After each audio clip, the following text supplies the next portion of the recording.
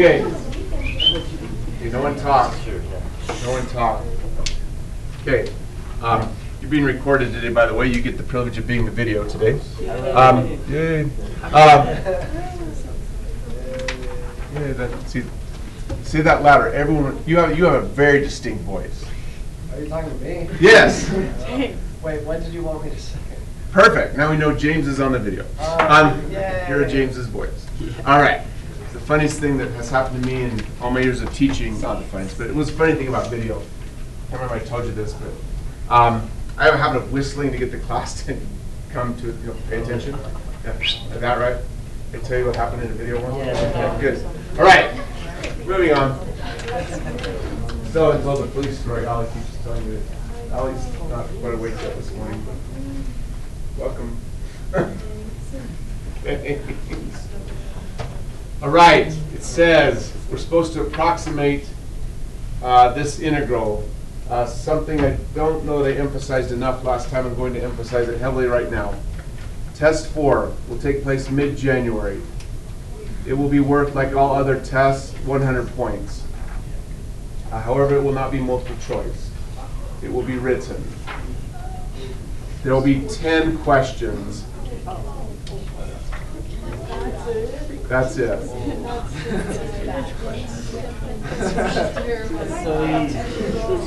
No pressure. Okay, listen. So spread amongst the 10 questions, there will be what I call 25 AP points. So to get us to 100 points, I have to triple these. So think of it as being 75 points. And then as long as you take the test on time, I give you 25 free points. Yes. That's logical. Okay? So that means, hey, that means for every uh, point that you, like every mistake you make, you lose three points. As long as you're taking the test on time. Take the test late, for every mistake you make, you lose four points. How much is this test weighted? Uh, this one is again eighty percent of your term three grade. Okay. Um, speaking very honestly, uh, comparing test one, two, and three, uh, this one is on the order of about how hard test two was. Like, That's how well people perform. It's not, it's written, so you're not used to it, but it's not. Is it just going to be on the content that we're learning, like from this packet? Yeah, this one we go back to just this unit. And then we go to the, so this is the last unit test. The next test you take after this test will be a full-blown AP test. So this one, we take a little bit of a respite from remembering the whole year. Uh, it works out really well. We just focus on this unit, and then in the next test, we're back to the whole year again. I'm so excited. I can feel your excitement, James. I'm so happy. He's doing that gesture again. Okay. That's exciting. Hey, okay, part of why I emphasize this is as follows. Uh, If this is an exact copy of what you could easily see as one of the 10 test questions, okay? This question would be worth three AP points, hence nine test points. You understand what I'm saying? Yes. Okay. You're supposed to compute that integral. That means the very first thing you have to do is write down the integral. Because I've been really pushing you all to never write anything on your paper that is not an equation. Always something equals something. So the first thing you should be doing is writing that integral. And if you forget to write the integral, you lose three points on the test.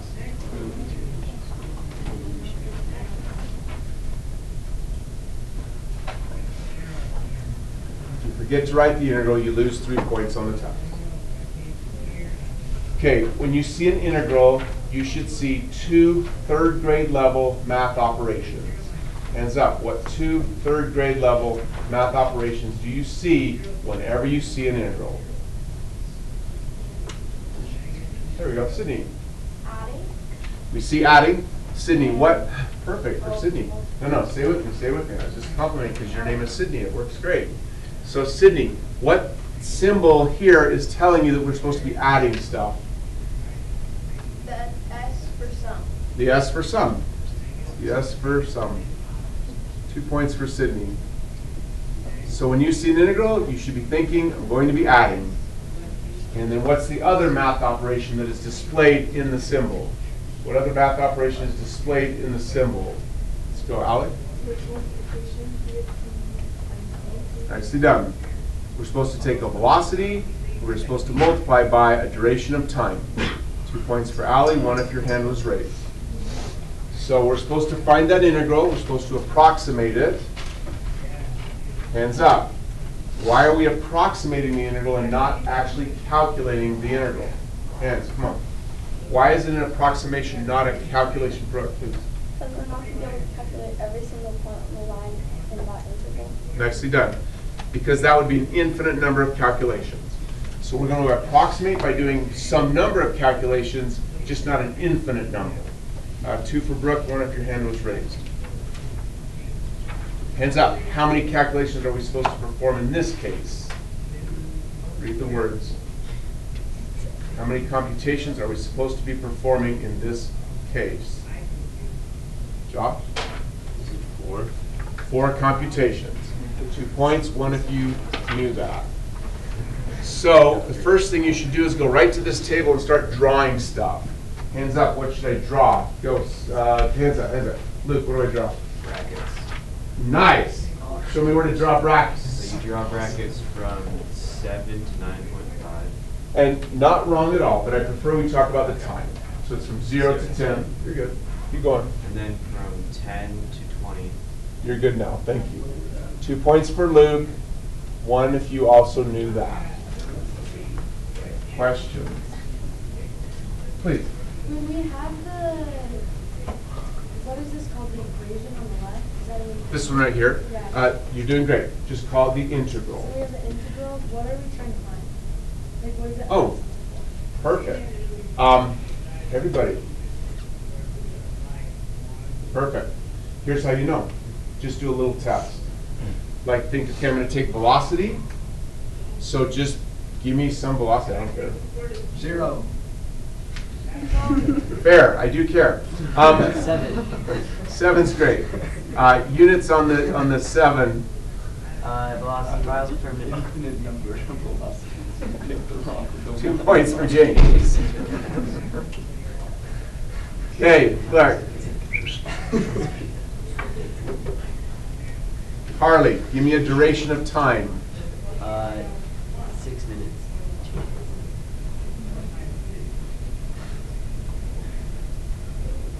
Everyone in the room, two points for Parley.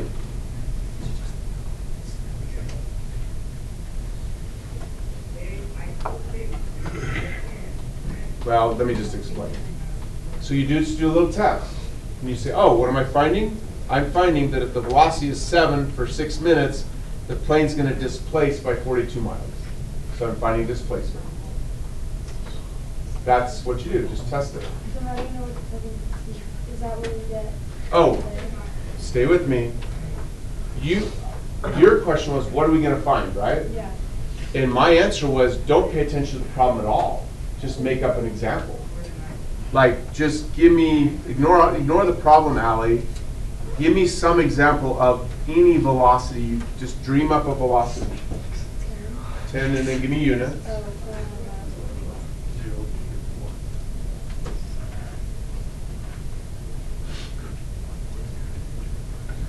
Um, what I'm trying to teach you is, look, the reason this unit is easy is because you just read the symbols and they'll tell you what you're doing. So we're going to take 10 miles per minute. We're going to multiply by a duration of time. So give me a duration of time. And give me a unit. So when those two multiply, Ali, what's the result? uh, forty miles. 40 miles. So that tells you what the integral is calculating. It's calculating displacement. Does that make sense? That answer your question? Two points. This is somewhat related, but what about when the velocity is zero? How would you go back, because this is essentially like going back to f of x or other position graph, how would, is it even possible to find the mins and maxes using integrals the velocity is zero on? So like, you know how you can have a position time graph and know that at a min or a max, it's gonna be zero on EOT for the time. The reason it's, yeah, the reason it's gonna work is because that EFT is only zero for an instant. And so you would just find it, would you like find the limits or? You know, well, no, because we'll get there, yeah, yeah it, it's going to take a little while to get to where you're going, but it's not going to be a problem. Oh yeah, you're good. Okay, cool. Okay, back to here.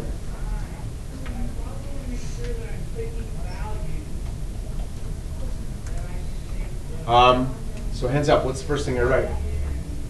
Just read the symbols. Come on, hands. What is the first thing I should write? Dylan. Uh, it 7 mile over 70 death of miles per minute, in parentheses. Two for Dylan, one if your hand was raised. Raise your hand if you know why he picked seven. What's the reason? What's the reason he's picking seven? Stephen? Uh, because it starts at seven miles per minute. That's how fast it's moving at time equals zero. Uh, true. Uh, that reason will fail you though in some future problems. We've got to fix the reason a little bit. It's okay.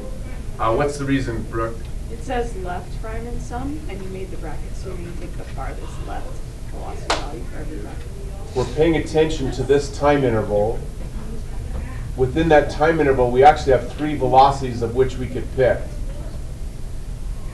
We're not picking seven because it's at time zero. We're picking seven because it is on the left of the first interval. Okay. Two for Brooke, one if you knew that. So hands up, what I write next? Come on, everybody, go with me, don't just watch. Ina? And Ina, why are we writing 10 minutes? So that's the duration of that first time interval. Uh, two for Ina, one for the rest. Uh, please, James, question? Lingering hand, you're good, no worries. Okay, um, here's what I want to do now. I'm going to go practice my seating chart memory. I'm going to go down the rows. I call your name. You either tell me what to write or you just say pass. If you tell me what to write, you get a point. So we'll start on the second row. We'll go Carter. What do I write now? Plus. Perfect. Point. Brooks. Uh, nine point five uh, miles a minute. And point for Brooke. I think everyone should write the units once because you want to make sure you haven't made an error, that you're getting what you expect to get. After that, don't have to write. Save some time. So point for Brooke. Uh, Josh, you're up. Times ten minutes. Perfect. Uh, Rachel. Plus Nicely done. Point for Rachel as well. Let's go to Ella. four point five And then Ellie. times ten. And then Ethan. Pass. Up, good, no point. Uh, Ina? Nice, point. And then we go to after, Um, two point four and then Abby, point for both of you. Question? Sweet. Then we write equal. And we cheat because I don't want to do the calculator stuff.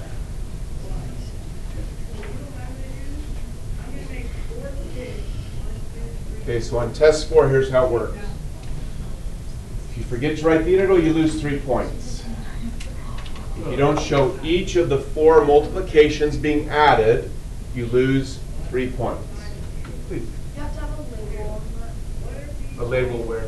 Like, you have to label them. Oh, no. Um, two points for Sydney. If you have what you see here, Sydney, you get all nine points. Is that what you meant? Yeah, so you have to label the first. Oh, the units you mean. Oh, sorry. My bad, I didn't know what you meant. Um, you really won't lose any points if you forget to put units here. I just think it's smart. Is that fair? yeah. Um, Sydney, if you forget to put units here, you lose three points. Okay. Um, I was just wondering, for the answer, to need the approximation equal sign or the actual? Gotcha. Um, we say approximate here because we're not calculating the integral, we're approximating it. But these four computations are exactly 234. So that's why that's equal. Okay. Uh, they're a little lenient on that. So. Oh, okay. Sit down, Chief McCrin. Okay, next thing. Questions about any of it? Please. Are calculators allowed on Uh-huh. test? Test four, calculator allowed. Um, Okay, another thing you'll get tested on for test four is, uh, there'll be questions that will check to see if you understand how to represent these computations visually. So we are not making a graph, we're just making a picture that is a good representation of the numbers.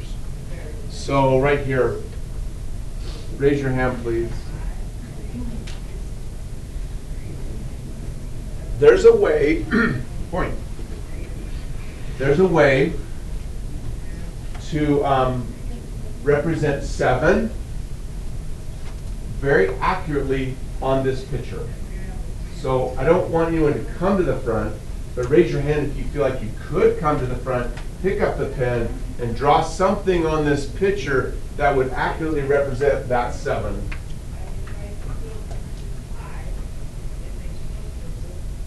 Waiting for a few more. Just waiting for a few more. So what I'm saying is, if I give you the pen, I'm not going to, I just want to see if you can do it.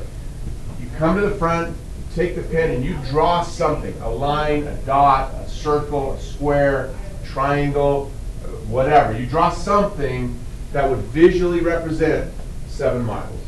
Like those specific seven miles. Not just any old seven miles, but those specific. Um, I would draw a point at ten comma seven. Ten comma seven. Right there. Yeah. Two points for Wyatt. I would not disagree that that's a, a good thought. It's not as specific as I want. Like it's not, it's not really as specific as that seven miles. So two points for that. Let's go, Ella. Um, maybe make a point at zero seven, and then Keep going. another point at, uh, ten seven, and then extend the line, because the velocity is seven miles per ten minutes. Um, that's actually really good. That is really good. That is really good. Two points for that. Um, I'm going to do something, Ella. I'm going to do something that is uh, slightly different, but it really is. I don't know. It's almost exactly the same thing. It's just a little bit easier for people to remember. Uh, I'm just going to draw a vertical line like this from seven straight down because the vertical axis represents miles per minute. So the length of that line is seven miles per minute. Like that line, like that alone, ignoring the 10, ignoring, like you did a good job of kind of combining the seven and the 10. The seven alone is just seven miles per minute and it is occurring at time equals zero. Question, please. Okay, why wouldn't it occur at time equals one? Because it's like seven miles per one minute. Uh, it is seven miles per every one minute, but it's, that velocity occurs at time zero. Two point, please. So for the nine point five, would you draw a line down at nine point five? Yep. So for this nine point five, two for Abby, and I go over here like right at ten, that's where the nine point five is occurring, so I draw this vertical line. Somebody else pick up on the pattern, tell me what's next. Let's go, uh, Sydney, Um, go to four point five at twenty. nicely done. And then Ellie, go to two point four at thirty. uh, you will be expected to do this on the test. Questions, like, anyone feeling like it's not making sense? We're just drawing the numbers, just a way to draw the numbers, okay? New, uh, everyone raise your hand and answer this. How do I represent that ten over there in a similar fashion? How do I represent that ten over there in a similar fashion? Just waiting for more hands. Waiting for a few more. It's really exactly the same idea. Let's go, Stephen. You draw a horizontal line that is ten units long Good, and where do I place the horizontal line that is ten units long? at the origin of it. Because these ten minutes correspond to those ten minutes. Yeah. That's well said. So, two for Stephen, one if your hand was raised. Questions? Now, next thing, go, come on, just want to pay. Next thing, Luke. Um, you draw the horizontal line from ten to twenty. Coloring here is pleasing. Um, please. Yep, Horizontal line from twenty to thirty. two points. Yeah, it's too easy now. Okay, yeah, James. Thirty to forty. Nicely done. That coloring is just peaceful. Doesn't that make you feel good? It's nice. This makes you feel good. Um, question? Does it matter where you draw the horizontal line, or does it have to be at the origin? Um, for the next thing we're going to draw, it works best to keep it at the origin. Well, keep it on the horizontal axis, yeah. Two points. Brooke, Why are you drawing the horizontal lines again? show you in a second. Two points. Okay, raise your hand if you can do this. Seven times ten is seventy miles. Raise your hand, please. What is the seventy miles representing? What is the seventy miles representing? What is the seventy miles representing? Jay, Distance traveled. uh, we want to be a little careful. It is distance traveled. No. What was it? Um, Displacement, Yes. yes. And Jay, displacement for what time period? Uh, from zero. Wait, You got it. so, oh yeah, so from zero to ten minutes. Perfect. Two for Jay, one if your hand was raised. Question. So we keep going here. The 95, just want someone to tell me, what is that representing? What's the 95, James? For our what time period? Perfect. Anybody have a question? Okay, raise your hand if you can tell me, what could I draw over here to make a visual representation of the 70 miles? There we go. What can I draw? And this is partly the answer to Brooke's question and also Abby's question. What can I draw that would be a good representation of the 70 miles? Yeah. Maybe you could like shade in the displacement of it. So what I do is I remember something I learned, I don't know, long ago. The area of a rectangle is found by calculating, computing this dimension times this dimension. This dimension times this dimension. So this shaded purple box Say it out loud. What's the area of that purple box? Say it. Yeah, the area of that purple box is 70 miles. Peaceful. Question?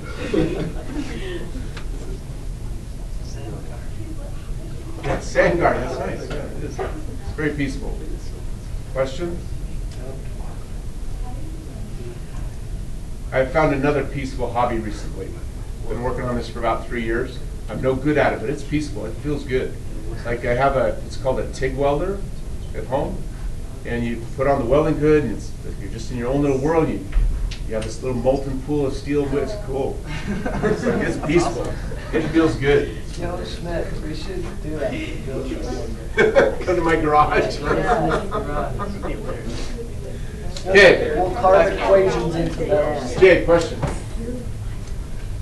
So after doing that rectangle, don't you do a triangle above it? If we wanted to get a better estimate, we wanted to get a better estimate. We won't for this class do it that way, but you're right. How many points? Two points. Okay, look, everyone. Brooke, you good? Okay. Abby? Okay. Um, Raise your hand, please. The 70 miles is our estimate for the displacement from time zero to time 10. How would we get a more accurate computation of the displacement for that time period? Hands up. I've asked this before, I'm just asking you to say it again. How do we get a more accurate estimate of the displacement for that time period, Luke? We um, have more subgroups, so that way we calculate it more often. We calculate it more often. How many new? Point two for Luke. Okay, watch me. If we are calculating it more often, instead of 10 minutes here, we'd have like one minute. So the width of my computation would be much narrower. And I would get something like this. I'd still have seven times one, but then I would have the next velocity, like, I don't know, whatever it is, like, it looks like it's about seven and a half. And then that would get multiplied by one as well. So I'd get a rectangular area that would look something like this green, narrow rectangle. Okay, do this. One means I'm not following, five means I get that perfectly. Like if I go seven times one, I get the area of the purple rectangle. If I go 7.5, look at the graph, 7.5 times one, I get the area of the green rectangle. This means I understand it, this means I need more time to figure out what the heck we're talking about. Let's write it down, point for the whole room. Okay, I'm gonna take seven, and I'm gonna multiply by one. That's gonna be seven miles per minute times one minute, that's gonna be seven miles. Raise your hand, please, and tell me, what will the seven miles represent? Come on. What will the seven miles represent? What will the seven miles represent after? Miles per minute. Um, so the seven is miles per minute. The one is one minute. So when we multiply them together, we get seven miles. So what does the seven miles represent? Um, the displacement. For what time period? For the first one minute, like from zero to one. Raise your hand if that made sense. Come on. Point two for after. So then we do this.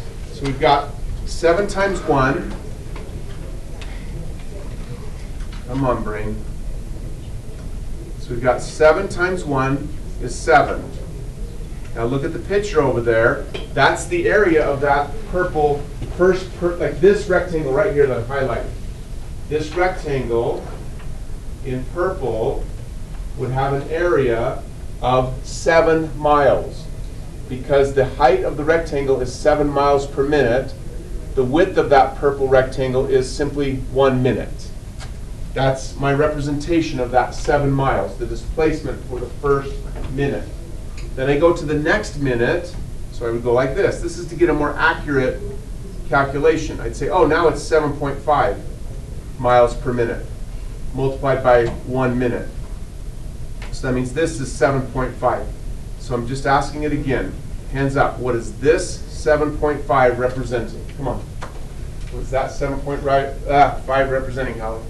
The displacement after one minute, or at one minute. Uh, really close. Let me adjust it just a little bit. It's always for a time period, so it would be the displacement from what time to what time? Close. So this one's from zero to one. Oh, okay, this one would be zero. So this one's zero to one. This one's there we go. Does that make sense? Two points. How many new? Point. That's the area. Hey, that's 7.5 miles. That's the area of the screen.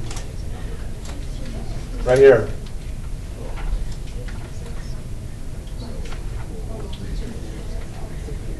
Okay, show me again. Look. Oh, go, go. How do you know that, that it's at seven point five at, um, from one to two? Uh, I'm just reading the graph and making an estimation. I'm saying here's a velocity of seven, the top of that green seems to be hitting about seven point five. So again, it's just an approximation to say, oh, so for that one minute, saying the velocity is about seven point five seems reasonable. The next one's about eight.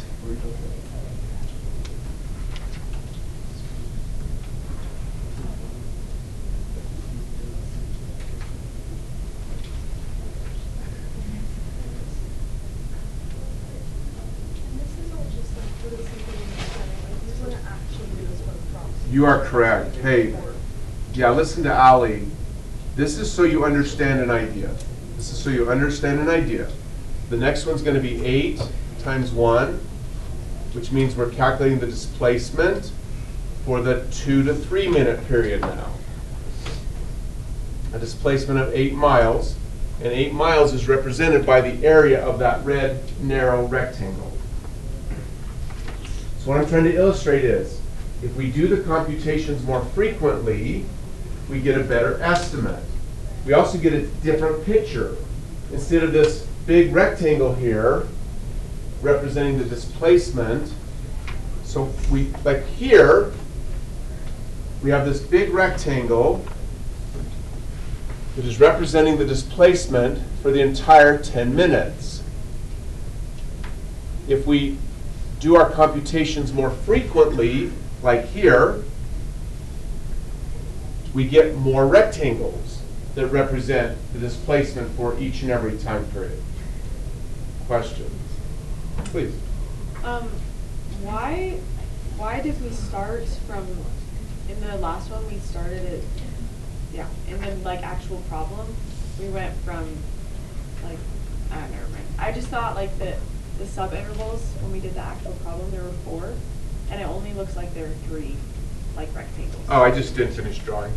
Oh, okay.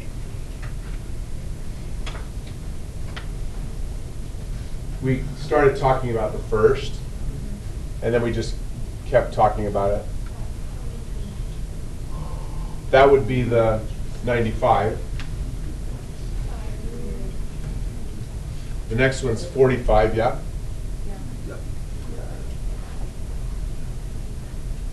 So that green area is the 45. And then the last one's 24. So this blue area is the 24. Does that answer your question, Brooke? Yeah. Two points. Okay, the point I'm trying to make, like Ali said, you're not going to do this in a problem, but you do have to understand an idea. Hands up. It's a simple question. I just want to see everyone raise their hand. Which is going to be a more accurate computation of the displacement? Doing it four times in 40 minutes or doing it 40 times in 40 minutes? Point for everyone, 40 times. Look at what happens visually. When you're doing it four times every 40 minutes, you get these big, huge blocks. Okay? But if you do it more frequently, you get rectangles that follow the curve much more accurately. So the idea I'm trying to convey is this. If we did it an infinite number of times, we would get rectangles that would be so narrow that it would appear we would be finding this area. When we added up all those rectangular areas, we would find this area here.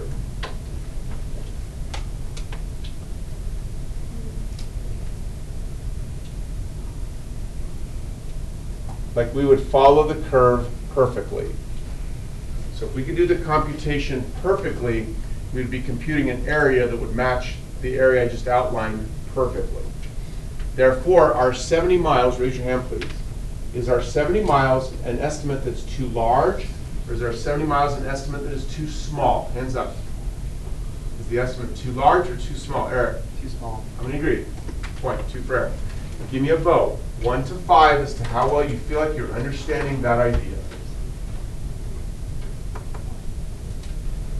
So five is I understand very well, one is I'm not following at all. So talk to me, Brooke, it's bothering you a little bit. I don't, I don't see how like visually we know that we're underest, or whatever it was, overestimating. Gotcha. Um, so, are you okay that the area of this rectangle is a good visual representation of the 70 miles? Yes. And the 70 miles represents our estimate of the plane's displacement for this time period. Good. No one talks so they can hear on the video.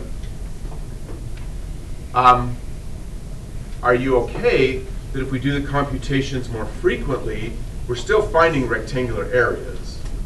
They're just very narrow. And so they do a better job of tracking the actual curve. Yeah. And if we made those intervals really narrow, we'd fill in that space nicely. So if we do this method where we're doing it more often, do we get a larger area than the 70 or a smaller area than the 70? That's what I don't get. So you're going to take this area here, you're going to add it to this area, you're going to add it to this area, you're going to add it to this area until this space is full. That's what we're doing here in our more accurate computation. So if I add up all those narrow green rectangles, will that area be larger or smaller than the area that we said was 70? Larger. Does that make sense?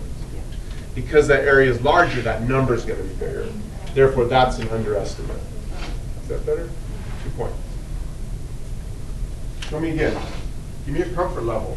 Like zero to five is to this concept that I can visually see that this is an underestimate. Point for the room. Okay, question, Jay? Um, can you explain the expression? This one here? Yeah?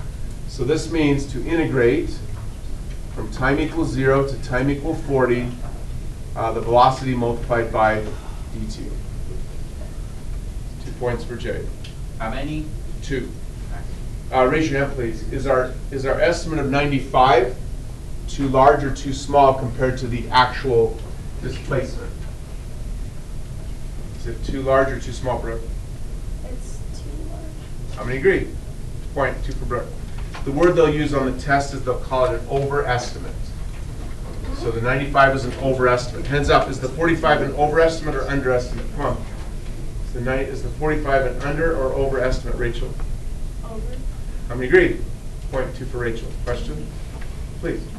I'm just wondering, because you have two underestimates and two overestimates, do those just like fill each other in? it reasonably well on this one, you know, because like this shape looks kind of like this shape.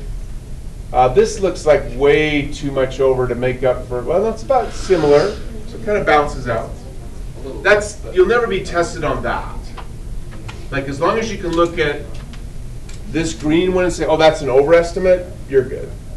They don't go to that level of detail. Two points. So it's safe to assume when that rectangle of your interval or whatever with the displacement, um, when it goes above the line, then it's an overestimate, and when it goes below, then it's an underestimate. Yep, Okay. yep, two points. It really is that simple.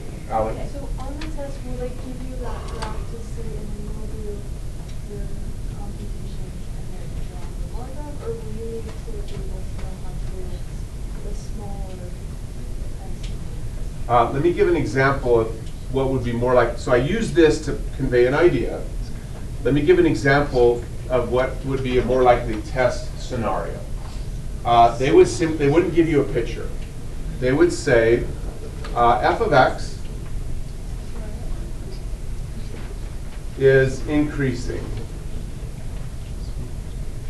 Okay, f of x is increasing. Then they would say, if you do a, you know, Riemann sum,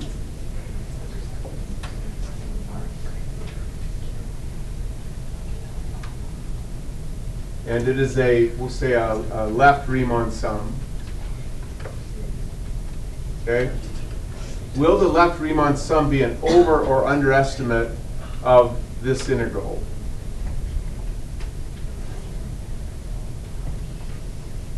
They're going to ask if you're going to get an over or underestimate of the actual integral. So what you would do is you would say, okay, here's my graph. I'm going from 0 to, here's f. I'm going from 0 to 10. And I'm going to break it up into some number of subintervals.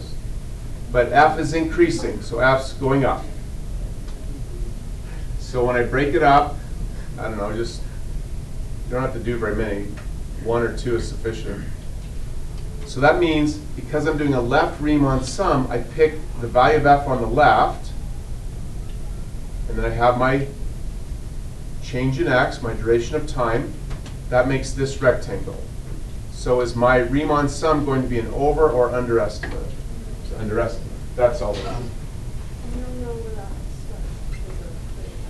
You know where it starts because you're doing a left Riemann sum. So you start on the left.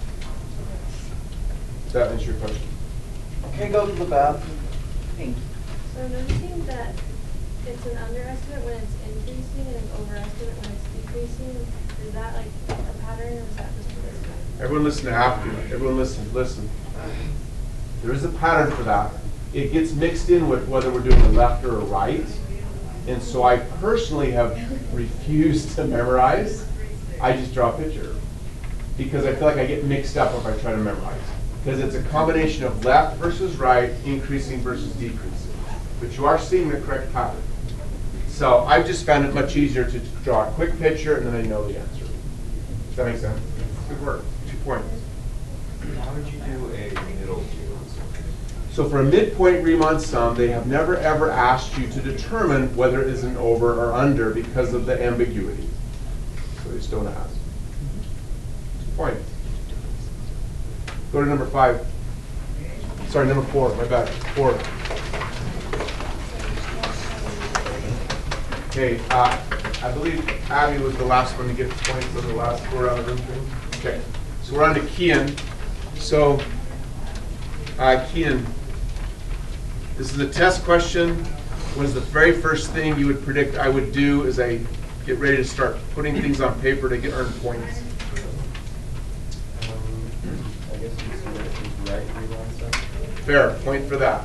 Uh, Jack, what would be another thing I would do? What would I write? Um, I would write the, um, Integral, just say integral. Uh, point for Jack. So I write the integral because I know if I don't write the integral, I lose a point. Testing my seating chart memory here. Allie, you're next. What's the next thing I do? Um, break the table into four. Oh, nicely done. I get a two for that. Um, so tell me what to draw, Holly, Perlis. Um, a bracket from zero to ten, Keep going. like me, oh. Yeah, you're good, Holly, sorry. ten to twenty. Point for Holly. So Holly Woodley, now what, oh, then we keep going here. So then I go back over here, Holly, what would I write? Holly Woodley, sorry. Seven, oh, oh, copy. There you go. Point for Holly. Now we go to Sydney. Um, nine point five times, Pause right there. yeah, And again, I recommend we put in units. What are the units, uh, Sydney? miles per minute. And Brooke, you're up. Um, it's like five, or from six to ten minutes. Nicely done. And those 10 minutes, Brooke, are representing what, what in this problem? Uh, interval of time, Say again. an interval of time. Nicely done. And an interval of 10 from when to when? From zero to ten. Perfect. Two points for Brooke. Oh, please, question. Um, so on the last problem, we did like a, about, yeah. the You're good. The approximate- approximate. Yeah, um, for that, but then after we like computed it, we did like an actual equal sign. Here's why. The integral is being approximated by these four multiplies and adds. But those four multiplies and adds are exactly 234. So it's not, It's a little weird, it is. so for your answer, could you go like right the integral again and then write your punctuation sign and then write the two Mm-hmm. Uh, and they're reasonably lenient on that one. So you could do exactly what I did, you're good, all nine points. Two points. Ah, good job, Stephen. Good job. Point for the O plus. James, Uh, four point five multiplied by ten. point. Tess, point. Harley, Oh, uh, two point four. Adelie, Ten again, point. Luke. Plus. Ah, nice. Two points for that. Ally. Okay.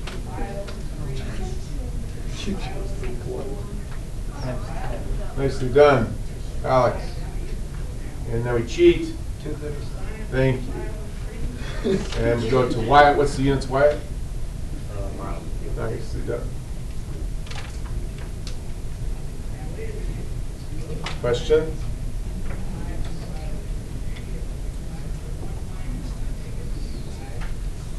Everyone draw the picture that represents those computations. Go. Draw the picture that represents those computations. Yeah, use the graph. Can we just kind of, can we do like what, uh, I don't know who said it, but they said that we can just like think, uh, like nine point five, and then like for ten minutes, and then you just kind of draw it like that, instead of Yeah. like going through all the steps or whatever. Oh, yeah, for sure.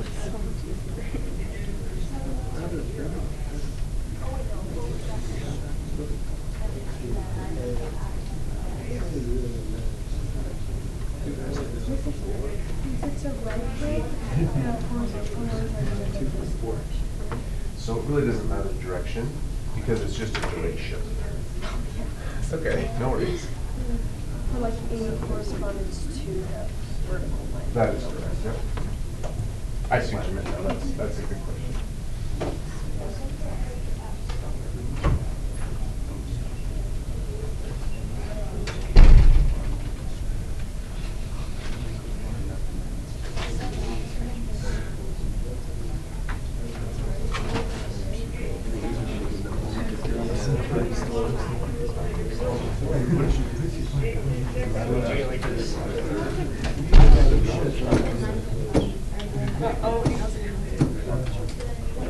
No, this is just like.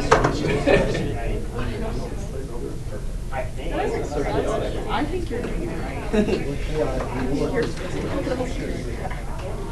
I like to look at the other one. Is this what you got? Yeah. Yeah. Yay. I shaded mine. You what? I shaded mine. I Oh, should you have shaded made yours, but bro? I use different styles. Add some squiggles. The shade of the graph, bro? Come on. Oh, bro.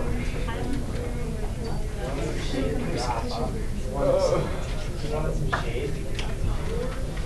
Hey, That's still slang for throw shade, Yeah. He's throwing some shade at the graph. as much as I can. That was hard. I, I didn't throw any shade in my graph. Is this right? Like I could throw a lot of shade, but it would be mean, so. Oh.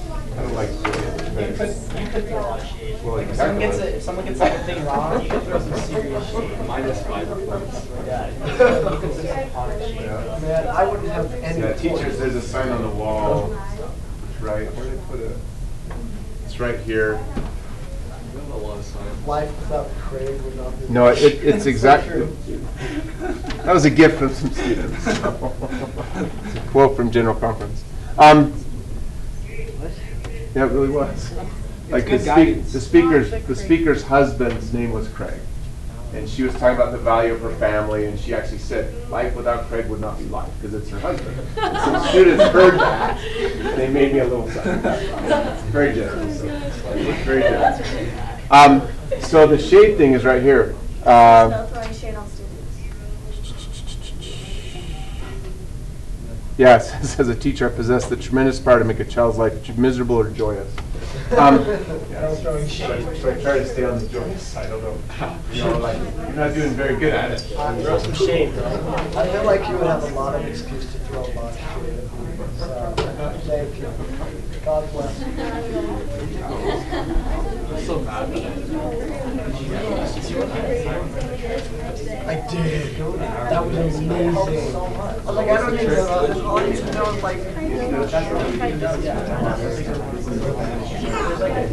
I saw. No, he did that and I was. Whoa. You only need to know. Yeah, like seriously, when you're you just need to know like six, four, Yeah, yeah, exactly. It's like how many- Like this? That's good.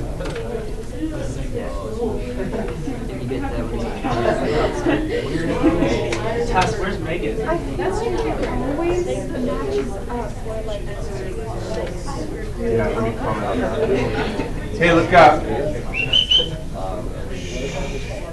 so you should have drawn this. Um, With regard to my comment about joyous or miserable, here's my goal. I cannot change the AP test. Like, I have no control to change that. So I really am trying my very best to make your path to the AP test as pleasant as I can, even though it is a challenging path. It just is, so. Um, You should have drawn this.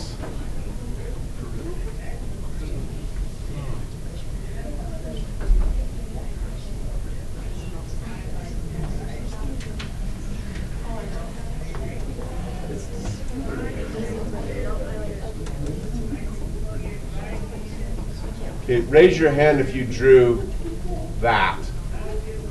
Raise your hands, please. Who has that on their paper? Two points. Question? Okay, Tess and Ally made the same observation. They noted that when we did a right Riemann sum, our result was an estimate of 237. When we did a left Riemann sum, our estimate was, uh, come on, come on, 234. That's not very different. And they both noted that you can see visually why. Because, as was earlier noted, these spaces are kind of compensating for each other. Like that's too much, but you know here we didn't do enough, and they kind of balance. Here we are doing too much. Here we're not doing enough. They kind of balance, and that's why the estimates look pretty good. That won't always happen. It's just a coincidence. so. Okay, cool.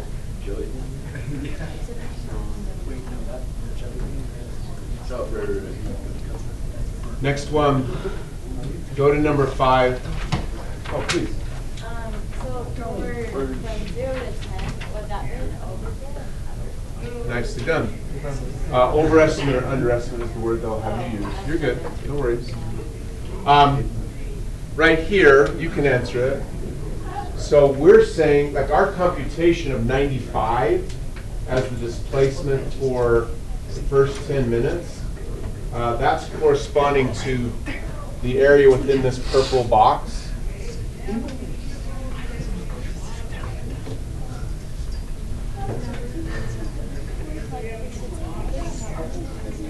If I did the actual perfect computation, I would have gotten this area.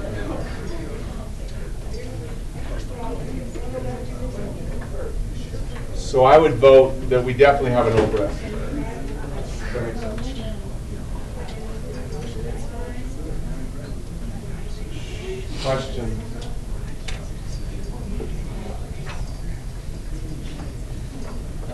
Okay, go to five. Hey, hey, listen. Okay, what we are currently discussing has a name.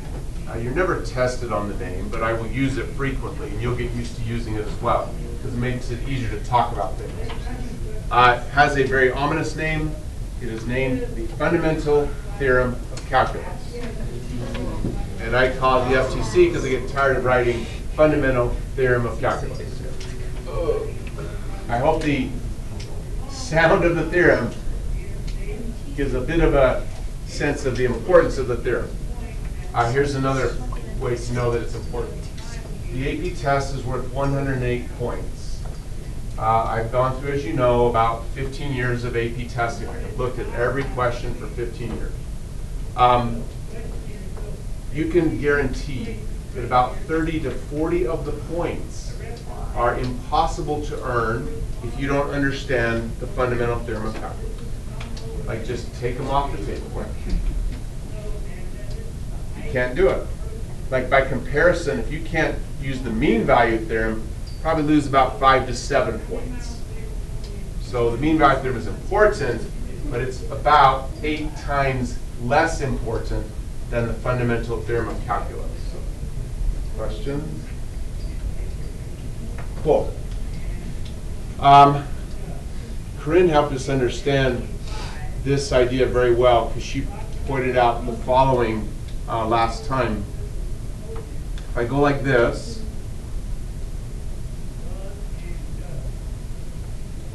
everyone in the room, hands up. What does that represent? Come on, think with me. Just want to make sure you're thinking with me. What does that represent? Hands, come on. What does that represent? Don't overthink it. It shows up in lots of AP problems. James? Like time in seconds. Point, but not quite. What does S of t alone represents time? What does S of t represent? What does S of t represent? Corinne? Like the whole thing, it's represent like a y value. It is a y value, but in this, in, in calculus, AP calculus, it is a specific y value. It is any y value for any given x of s. True, still not what, it's not what it will represent in this class. Position? It represents position. If you knew that, give yourself a point. Brooke gets two.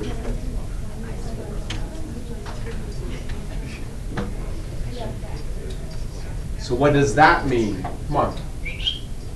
So this means the position at whatever time you specify. So what does S of zero mean? Come on, more hands, come on. What does S of zero mean? Stephen? Position at zero. Time zero. When time is zero. Yeah. Position when time is zero. How many knew? Point two for Stephen. Yeah. Position when time is zero. So that's the position when time is 10.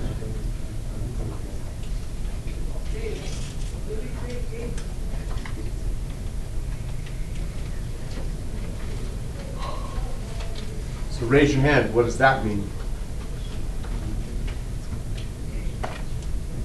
Alec? Nicely done. This is the displacement between time equals zero and time equal 10, and also known as the change in position for that time. How many knew? Point, two for um, Ali. We learned this symbol, D, means difference or duration or change. So if I write this, I'm referring to a change in position. Just like this is a change in position. Okay, so this means change in position. This means change in position. If I divide this by a change in time, now this entire symbol takes on a new meaning. Raise your hand if you know the new meaning of that entire symbol. Come on. What's the new meaning of that entire symbol? Not new to you, but just it's no longer a change in position. It's what, Alec? Just velocity.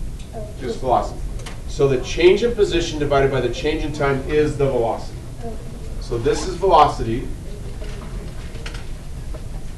And this is what Corinne's pointed out, two for Ali, one for the rest. Now when we are integrating velocity, we're integrating really the rate at which position is changing. We're doing this. And then we're multiplying that by dt. And that's why when we do the multiplication, we get a change in position. Okay, that's all the fundamental theorem says, right here. That's all the fundamental theorem says. Is that when we integrate velocity, we get a change in position. We get the displacement. Good work. No homework tonight. So don't do your homework. Just come back again on Monday.